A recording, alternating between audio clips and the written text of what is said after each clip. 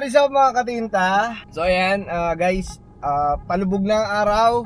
Ang time ngayon is uh, quarter to 6 p.m. Meron tayong lakad ngayon. Ang lakad natin ngayon is gagawa tayo ng mural painting kung saan ako tubo yung hometown natin. So, sa mga hindi nakakaalam, guys, I'm from Mala- Malabon, Malabon pa rin, pero tubo akong Tanyong.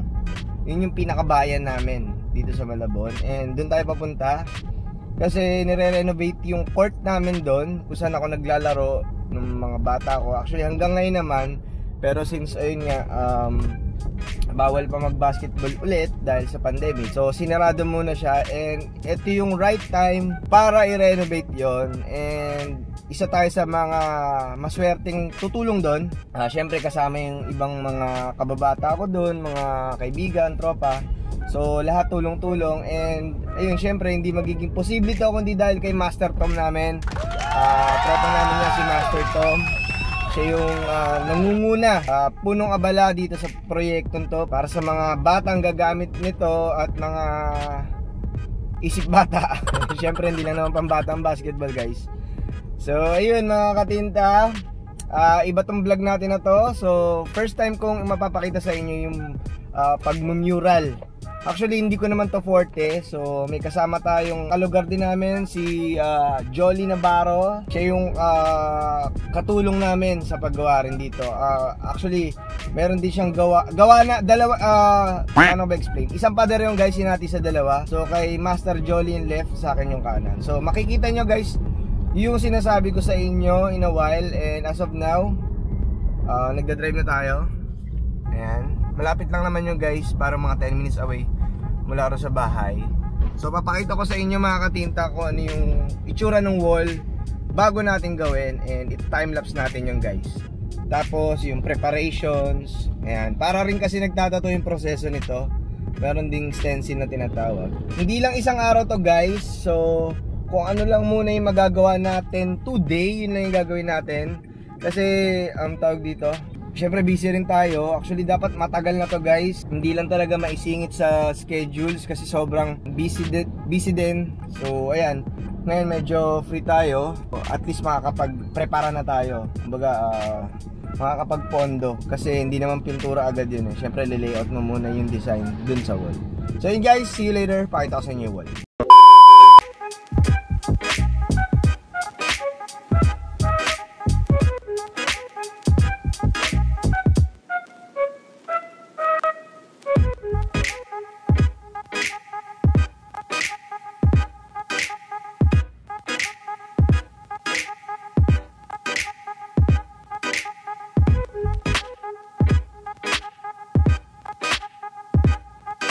Okay mga katinta, ayan, day 2 na ng ating mural painting. So ayan, let's go, start tayo, late na ako. Ma 5pm na ba 5pm na, so kagabi na tayo dito. So start na yung time lapse natin, let's go.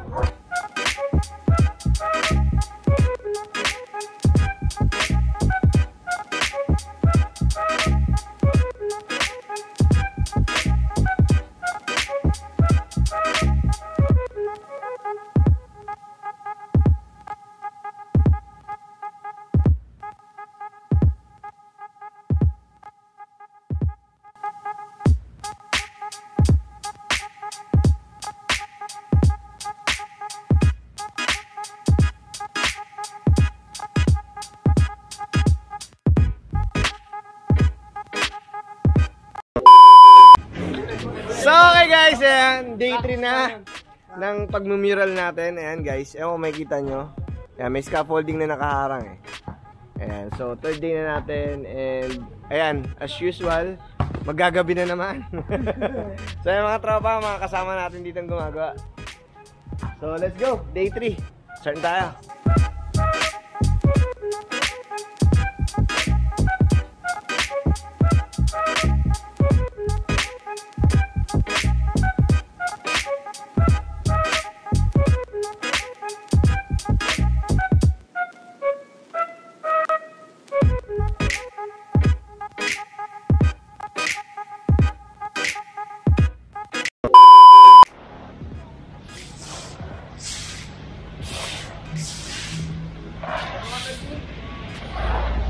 So ayan mga katinta makikita nyo, uh, kasulukuyang basa yung court. Kasi umulan ngayon. So today is our day 4 para dito sa mural project natin. By the way guys, ayan yung itsura niya kapag malayo. So yung left side is gawa ni Jolly Navarro aka Stony Finger. So ayan, yan yung sinasabi ko sa inyo kaya collab kami. So ayan guys, nagwawalis-walis lang para medyo uh, matuyo yung court natin. And hopefully hindi na umulan ngayon or umambon. Kasi kanina talaga on and off yung ulan kasi uh, ayon sa news meron daw low pressure area. So hopefully hindi na umulan para makagawa tayo ngayon. Kasi bukas Saturday and Sunday busy tayo. Tayo makagawa. So ang continuation natin is Monday na siguro or Tuesday So hopefully makakarami tayo ngayon. Let's go guys, day 4 natin.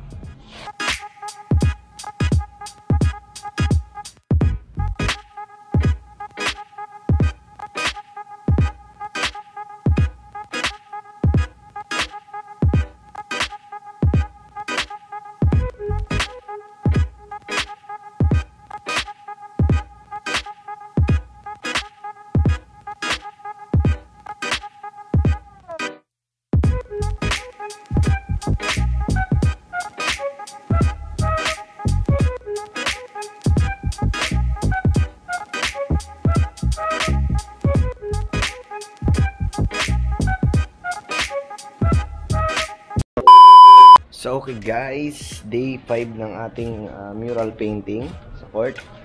So ayan, paalis na tayo. Uh, mas maaga tayo today, uh, 4pm paalis na ako. So ayun, magmumotor lang tayo si gawanin motor natin. So let's go!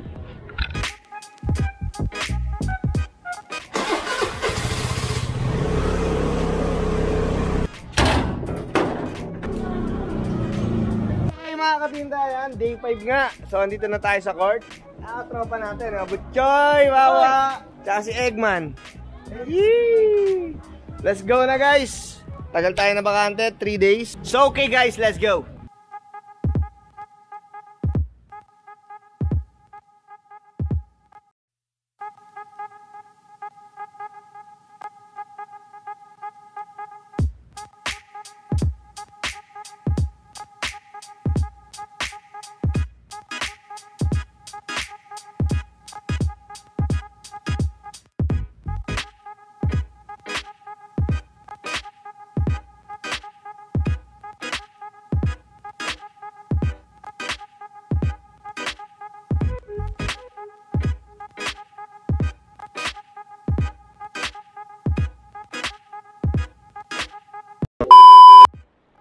What's up mga katinta? Ayan. tayo nagbabalik dito sa court. Day 6 na guys. 3pm pa lang. Nandito na tayo sa court. Ang problema, ayan guys. Tignan nyo medyo makulimlim at umaambon-ambon. Sana hindi magtuloy. Kasama natin Boss Wawa. Boss Wawa lang sa kalam. So yun guys. Day 6 tayo and uh, agahan ko kasi yun nga, syempre may mga finishing touches to. Ganun naman pagpatapos na, minsan mas matagal pa. So, ayan, ito yung ano natin guys, update sa ginawa natin. Kaya lalayo ako. Ayan, ayan. So, yun guys, um, magtitimpla rin ako ng mga pintura syempre. Ang hirap kasi magtimpla sa gabi, madilim. So, let's go. Ay, no, tara na. Sa'yo nakatapot, ang gawarami. Kaya mag-selfie ako. Selfie yan.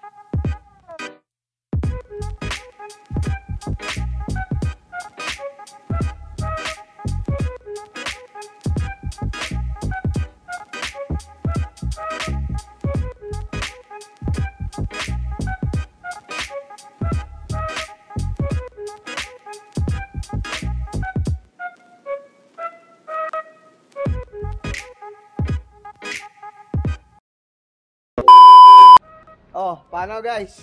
Day 7 na namin.